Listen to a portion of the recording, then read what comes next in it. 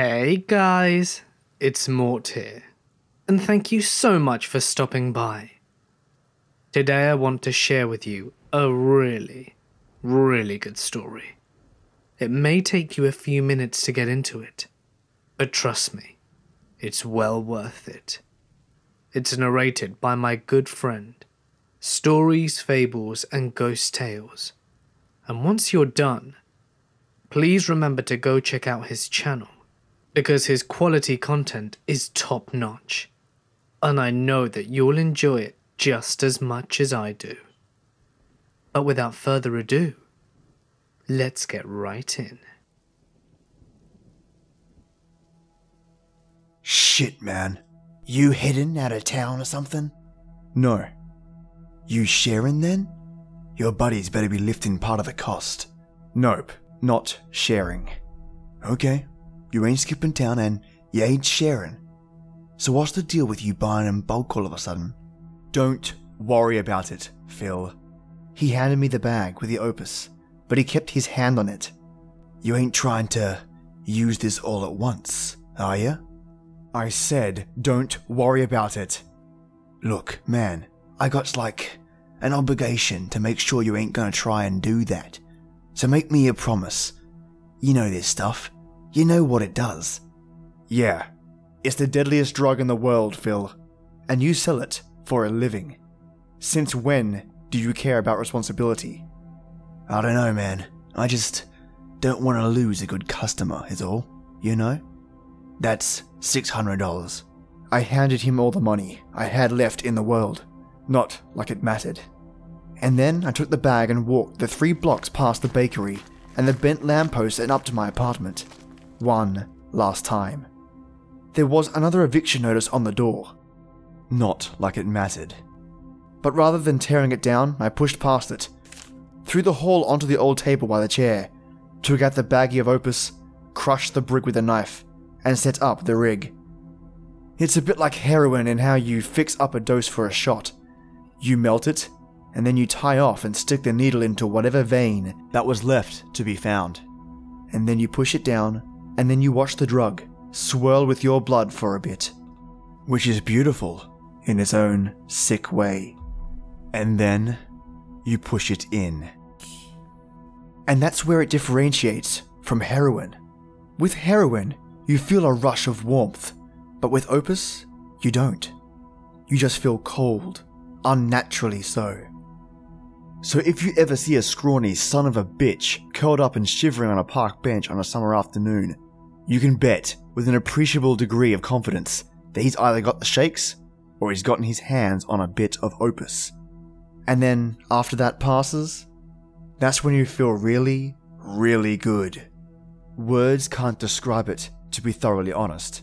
Although euphoria is one of the words people like to pick off the low hanging branch, all that can be said is that when it hits you, in all its force, and all its momentum, and all its breathtaking might, you can't speak or move or even think.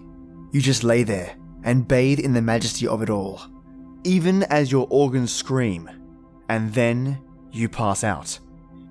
It's a basal pleasure that needs to be experienced to be believed. But stay the hell away from it and all that. Blah blah blah. Not like it matters. It's what comes after the euphoria that counts anyway.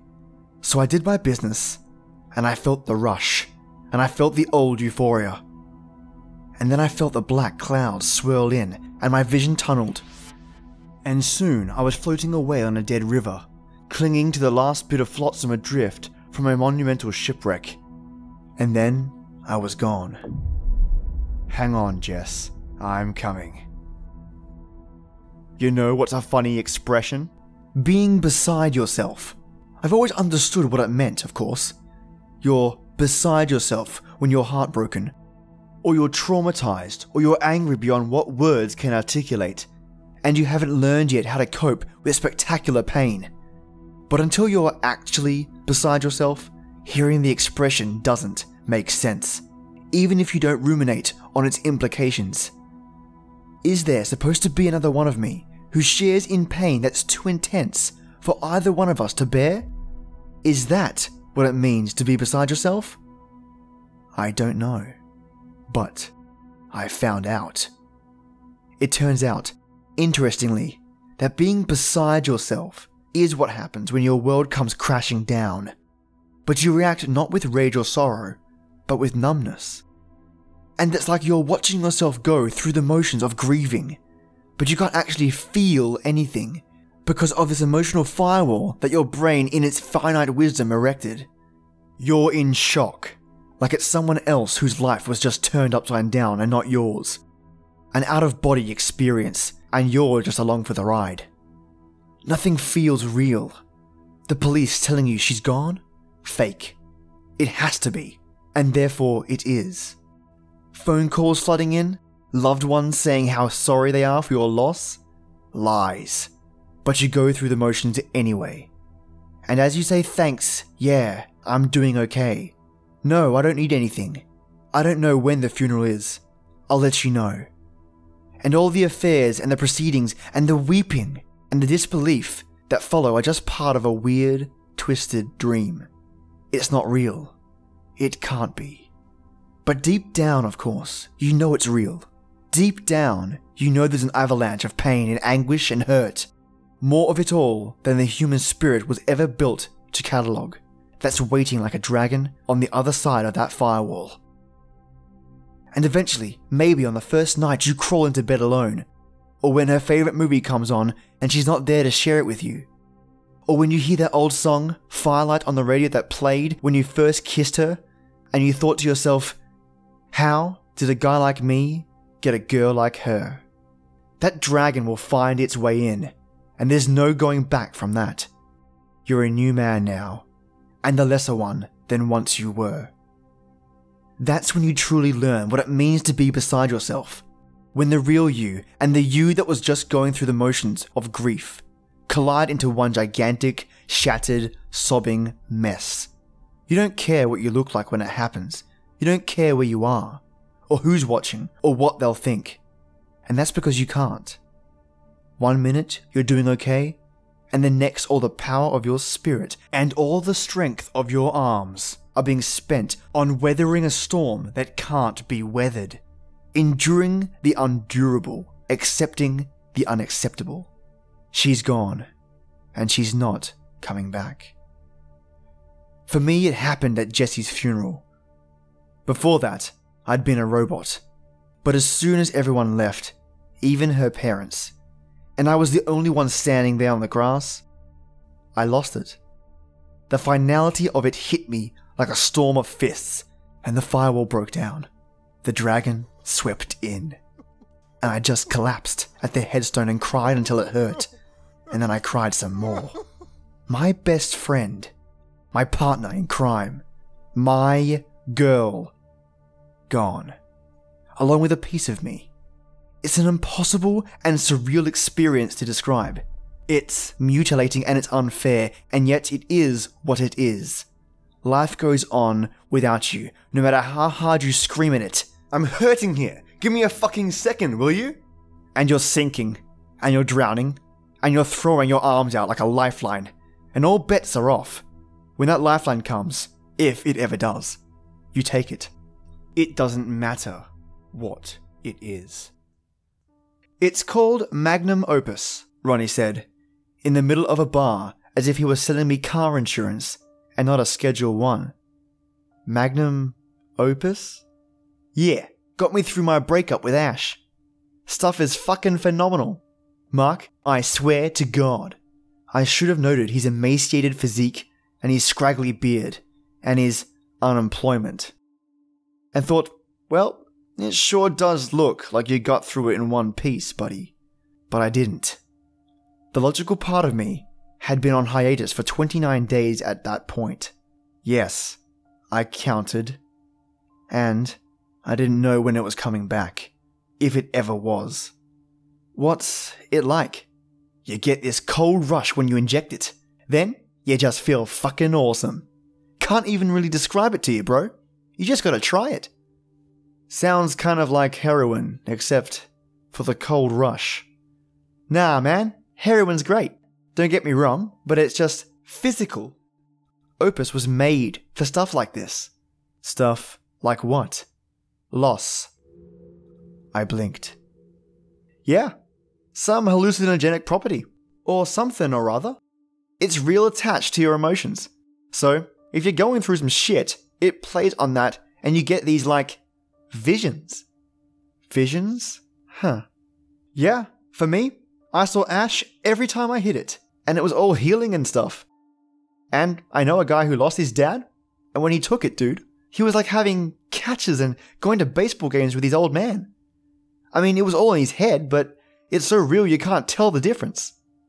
I should have said, not interested, thanks, and left right then and there. But I didn't. How much is it? It ain't cheap, bro, but I know a guy who slings it for fucking pennies on the dollar. Come on, I'll take you there. Phil is a weird looking son of a bitch, to say the least. I think he has maybe 12 teeth left, all yellow. And he weighs 120 pounds soaking wet, and he's covered ankle to jawline in tribal tattoos. Also, he's at least 50. He's balding on top and yet still sporting a silver streak ponytail with a roadmap of wrinkles.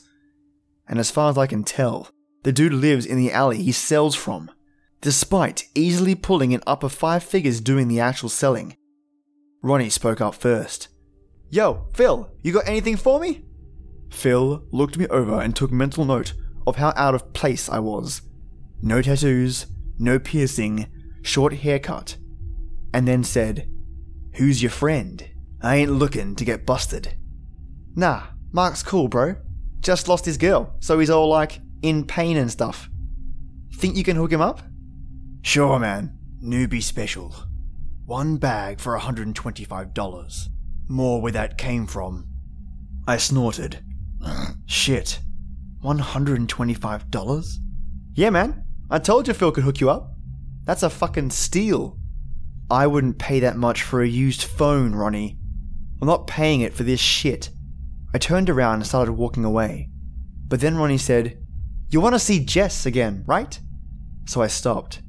God damn it. I would pay $125 for that. I think I'd pay all the money in the world, in fact. I turned around.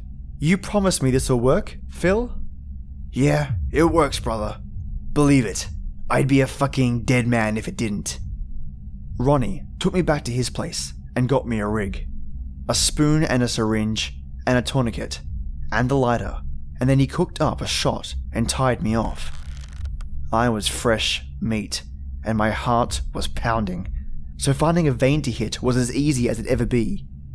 It's ready? Just like that? Just like that, man. And it's all melted and everything? Will you just trust me, bro? I got you. Been doing this for a year now. Make a fist. Okay, okay. Just nervous is all. Make a fist, I said. Good. He found the vein and cleaned the spot with a swab. What will it feel like? Guess you're about to find out, ain't you?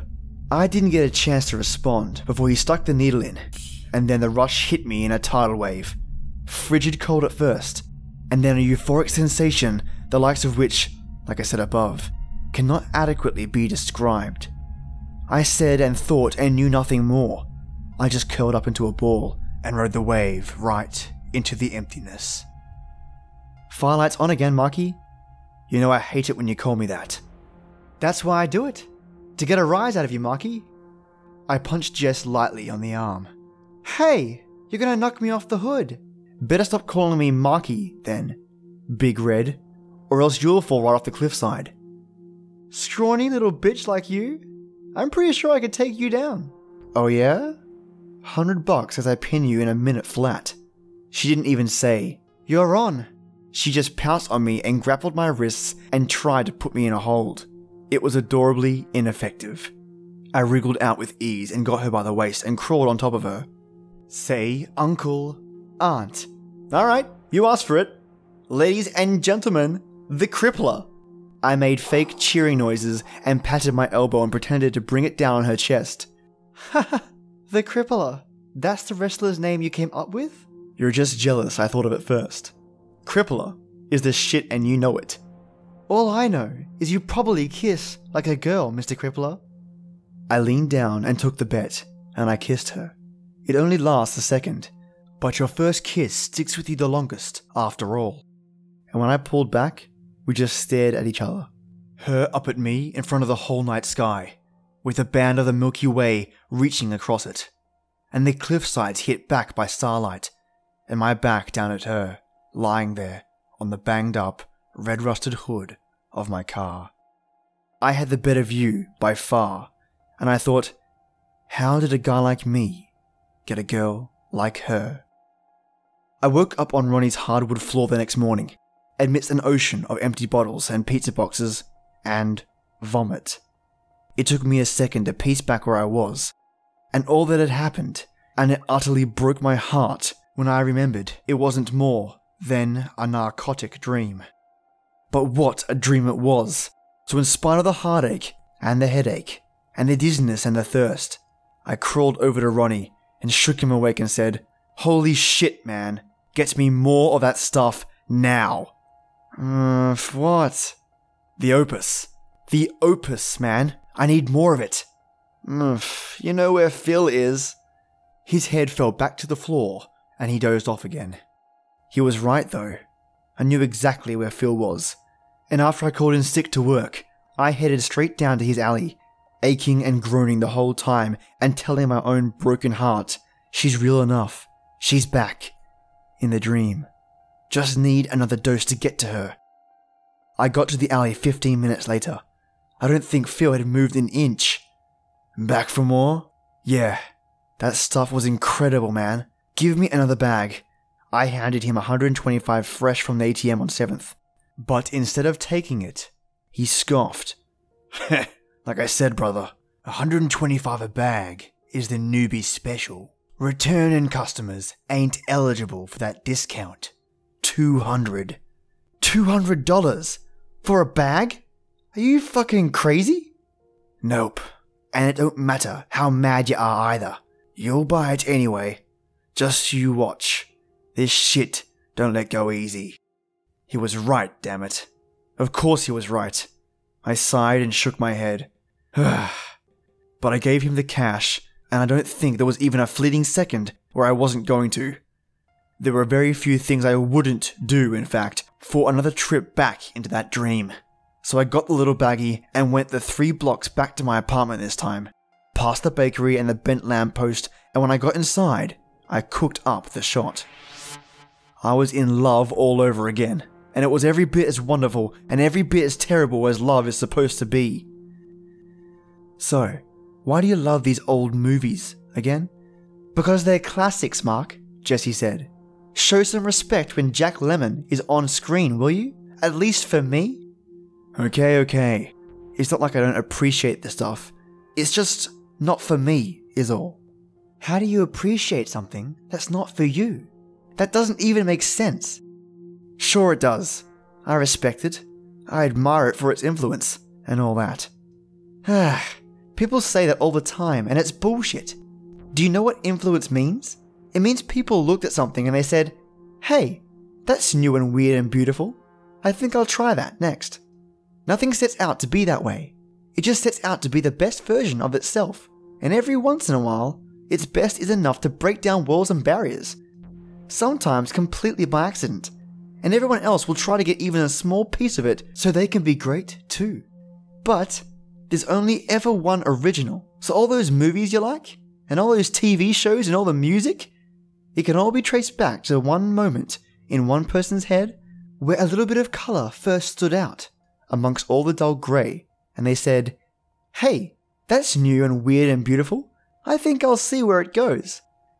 Oh my god. Okay, we'll watch your stupid, new and weird and beautiful Jack Lemmon movie. So I win? You win. She reached up and gave me a peck and said for the first time, I love you. And all of a sudden, I was willing to watch whatever stupid, new, and weird and beautiful movie she wanted. I woke up in my bed and when the reality hit back, it was just a dream? Fuck. My heart broke all over again, and she felt further away than ever, as she always did. It had been seven weeks of this, and every morning after when I woke up and I realized that the adventure the night before was all in my head, it ripped me a fresh wound right in the heart of my spirit. Every day was like finding out she was gone all over again. But the solution to it all was, of course, another hit, another dose, another $400 a day. That bastard tolerance necessitated a doubling down of the dose for the same effect. Anything and everything that I could do to spend as much time in my fantasy world as possible, I would do. And I would do it gladly and willingly. So I paid what I had to. I hadn't been to work at all since Ronnie took me to Phil that night, and since then, my savings had flown the coop, and my credit card had maxed. And I'd ignored a combined 61 missed calls from worried sick friends and family. And yes, I counted. But I didn't care about any of it. All I cared about was my Jessie, and our brief but precious moments together in a world that wasn't real, but in which everything was okay.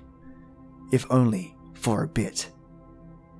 I told myself over and over until I truly believed it that pain and suffering and poverty in one world was more than an acceptable enough price to pay for true joy in another one. So on and on I went. The sound of a rap on the door gave me a splitting headache, but I got up and opened it anyway, and let the blinding sunlight hit me on my flat for the first time in days. The man on the other side, a mid 20 something from the looks of it, gasped audibly when he saw my emaciated physique and my scraggly beard and my obvious unemployment, as evidenced by the eviction notice on the door and the tracks on my arms. So I spoke first. Ugh, yeah? Hey, um, I, uh, I saw the ad online about the flat screen. That still for sale? Yeah, it's here. 300. Would you, uh, take 200? I'll take three. If I was willing to haggle, I would have put OBO in the ad. Take it or leave it. I desperately hoped he'd take it and go. I needed the cash, but I needed 300, not two, since I'd only gotten a hundred when I pawned the phone. Okay, okay, I'll take it. He handed me a wad of bills and I helped him carry it to his car. When he peeled off, I didn't even head back upstairs. I just pocketed the money and went straight past the bent lamppost and the bakery and down to you know where to get my next hit.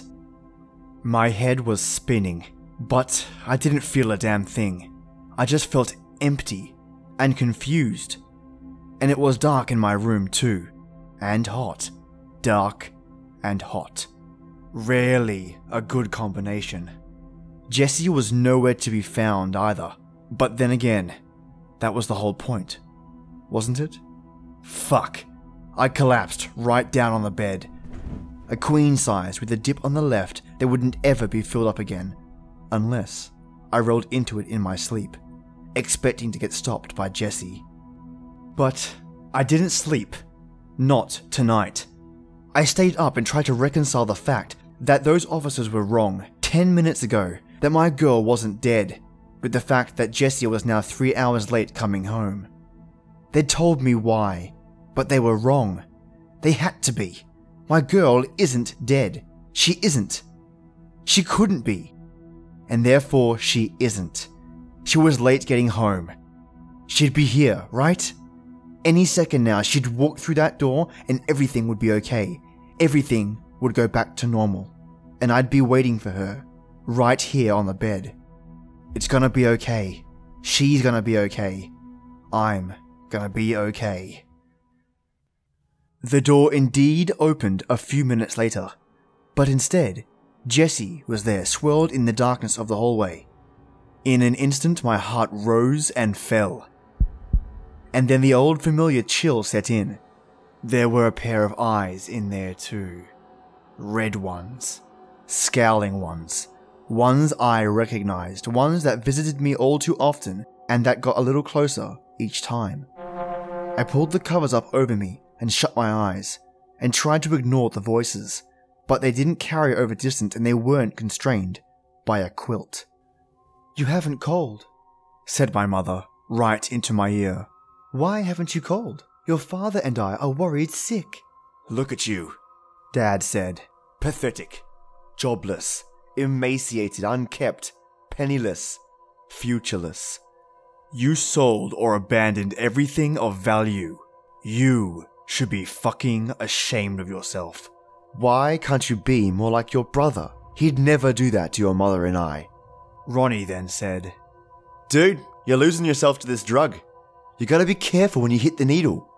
I don't care what it is, but you're not being careful. Not even I got down as deep as you. I shuddered and cried, and begged and prayed for it to stop, for it to go away. But of course it couldn't. Not yet. Because that's when Jessie showed up. Three hours late, like she always was. And when I heard her voice, I burst into fresh tears and shuddered and squeezed my eyes shut so hard I thought they'd bleed. Look what you're becoming, Mark. I fell in love with a man with ambition, intelligence, humor. He loved life, but he died tonight, too. I threw the covers off and screamed into the darkness. Fuck you! Get out! Get out! Get out! Get out! But the voice didn't stop, and soon the dragon stepped into my room.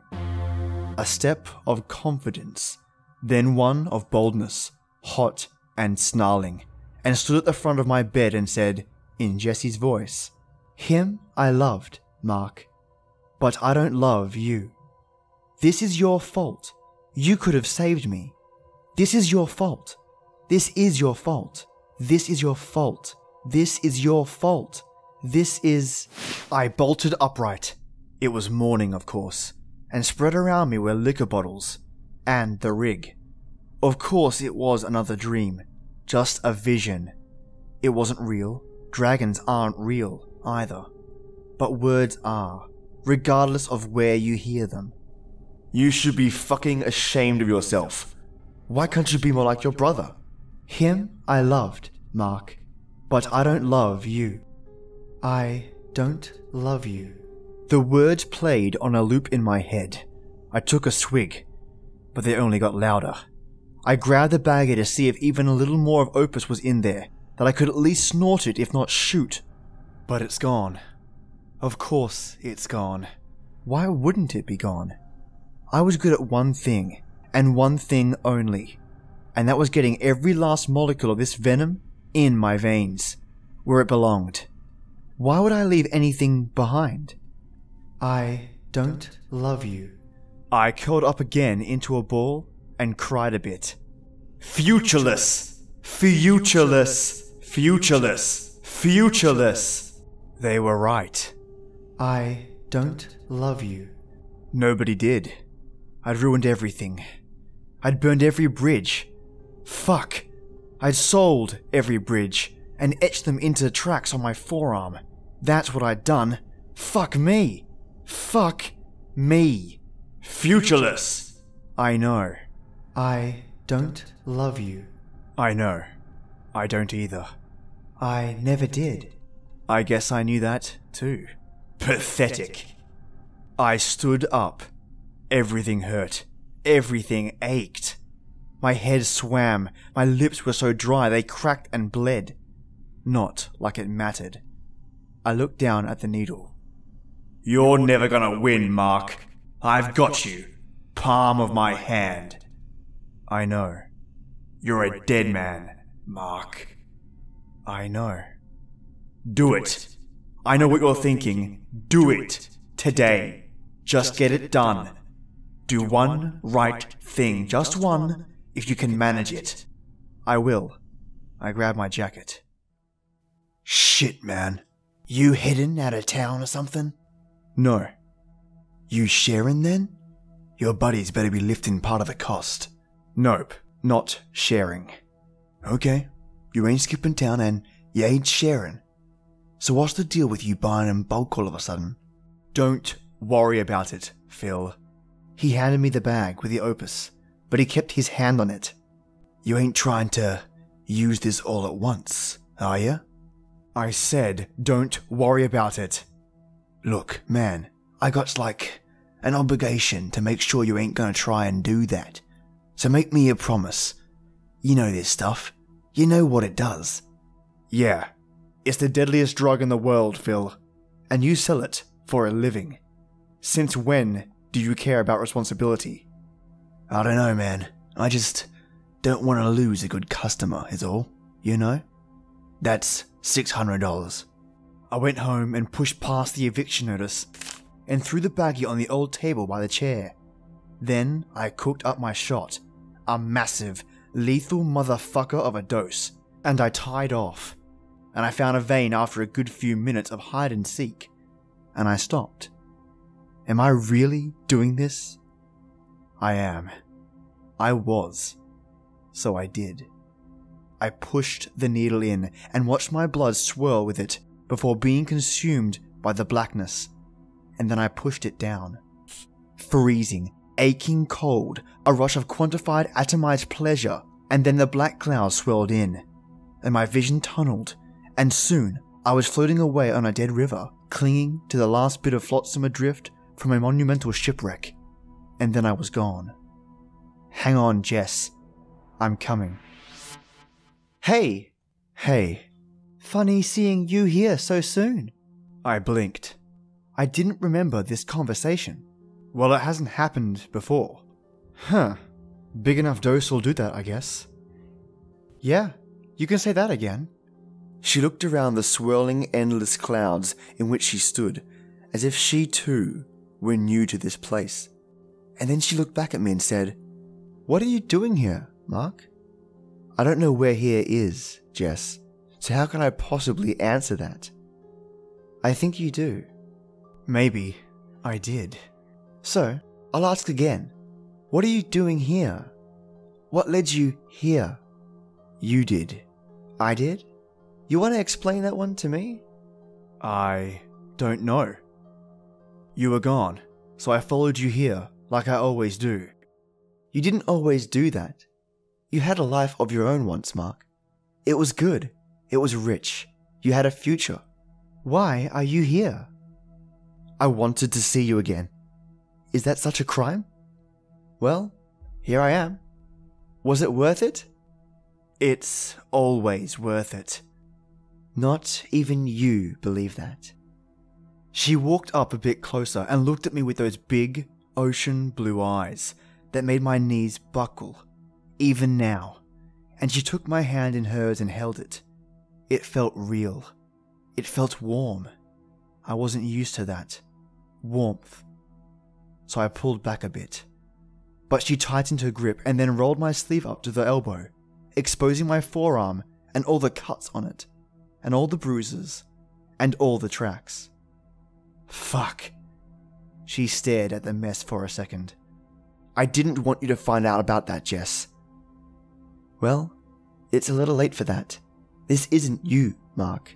Why didn't you just say no? Because I didn't, okay?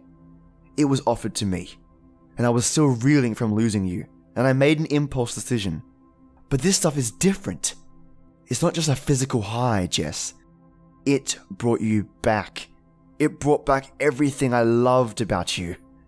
One hit, and fuck, we were right back on the road again, with the windows down and the music blasting and the sunset coming up over the hilltops. And we didn't know where we were going, and we didn't care, as long as we were going there together. For a few hours every day, everything was okay again. How could I say no to that? It brought me back, did it? Yes. Did it bring back the first fight? What? Our first fight. Remember that one? Do you remember me throwing your econ textbook at the fridge and knocking down the magnets with a little dog on it? Or you just storming out while I sat on the couch and cried? Did it bring that back? No. I don't think it did. Maybe. Did it bring back the time you hinted that you didn't like my new haircut and how I gave you the cold shoulder for like three days straight? No. Did it bring back the time we had that stupid fucking fight about Jack Lemmon? Yes, it did. And it wasn't a fight. That was the day you said you loved me, Jess. I remember, and I was so happy you said it that I allowed us to watch the movie even though I wanted to watch Mulholland. You said it first. What? I love you, You said that first, not me. At the bakery by your apartment. You said it. And I was so nervous that I didn't say it back until the next day. I texted it to you. I said, hey, I love you too. And you wrote out this little novel about how scared you were that you'd said it too soon, and that you almost wanted to take it back so you wouldn't scare me away. Remember? Yeah. And we watched Mulholland that night. Shit. She was right. We did. Yeah, we did, didn't we? Yep. But your little drug didn't bring that up. I guess not. Did it bring back, say, my loud chewing? You always made a point to mention it. I never had a meal after that without being self conscious about how loud I chewed. Did it bring that back from the dead too? No. Or how fidgety I was. I could never get comfortable. Remember? Jesse, go to sleep. Stop moving so much. If I had a fucking nickel. What's your point? My point? Mark, I'm a human. A fully fleshed out, actual person. Not just an idea. Me, with all my flaws and all my imperfections and my quirks and hopes and dreams. You want me to believe a fucking drug fleshed me out like that? It's a drug, Mark. It's not magic. Well, whatever it did, it was enough. Well, it shouldn't have been. Don't you get it? You shouldn't be able to just bring someone back like that. I'm more than memories, Mark. You, of all people, should know the difference between loving me and loving the idea of me. I mean, fuck. What does it say about me? About us? That you could just conjure up one good rose tinted memory and be satisfied? You said yourself it brought back everything I loved about you. Not everything. It didn't. I said it brought you back. You said both. And then we found out it didn't even do that right. Don't do that, Jess. Do what? That. Don't you fucking dare insult me by implying that I didn't love you the right way. I'm a sick, wrecked bastard, but if there's one thing I did right in all the time I knew you, it was love you so much that it spilled over and I loved everything and everyone else more because of it. And when you died, when you died, Jesse, I destroyed myself just to catch a fleeting glimpse of a shade of you. And I didn't run away from the pain. I owed it to you to stay, to learn that pain inside and out, to let it roll over me in waves and fucking ruin me as a man until I couldn't recognize myself anymore. I owed you that much. And if that's not love, then I don't know what is. We sat down on the edge of a cloud and looked out over infinity together. She put her head on my shoulder and then said, I loved you too. You loved me? Yeah, I loved the man you were. The man I was? I'm the one who's still here. No, you're not. This isn't you, Mark. It's not. And you know that. I think a part of you died that night, with me, out there on the road. I looked at the tracks on my arm. She was right. I hated it when she was right. I know you hate it when I'm right, but I'm right. All the same, aren't I? Do you recognize yourself? No. Do you recognize your own thoughts anymore? You're a dead man, Mark. Palm of my hand. No. Do you think that's what I wanted for you when I was gone? No.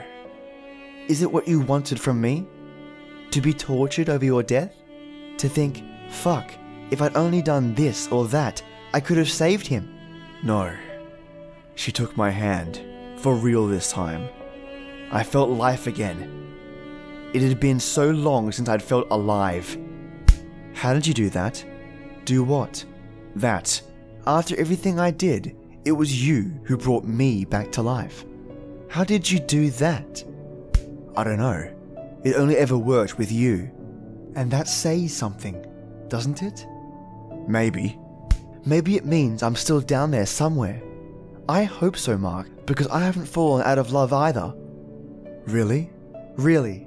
We sat there for a while before she said, Can you do something for me, Mark? I'd do anything for you. You know that. Can you let me go? I thought you said. I did. That's why I'm asking this of you. There might not be a happily ever after for us, Mark, but there's still one out there for you. And as your best friend, as your partner in crime, as your girl, I want more than anything for you to find it. I. I don't know if I can. Do it for me. She leaned in and kissed me, and it seemed like all the clouds and all the stars were falling into line.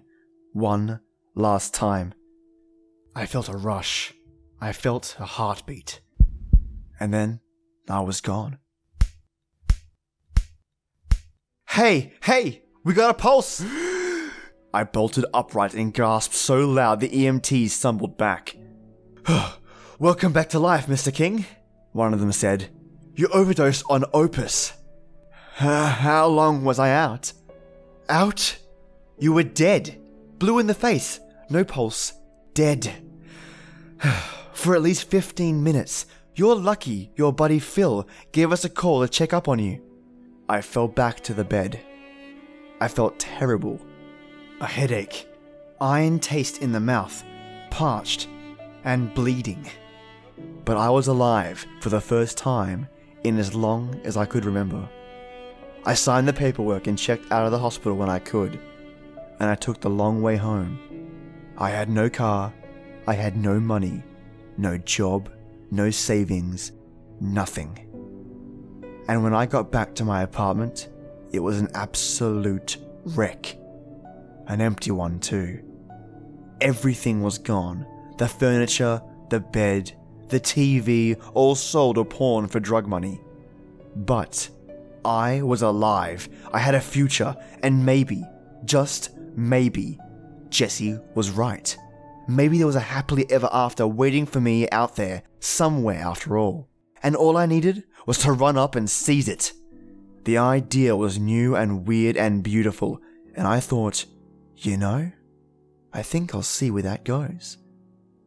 And I threw the needle in the trash.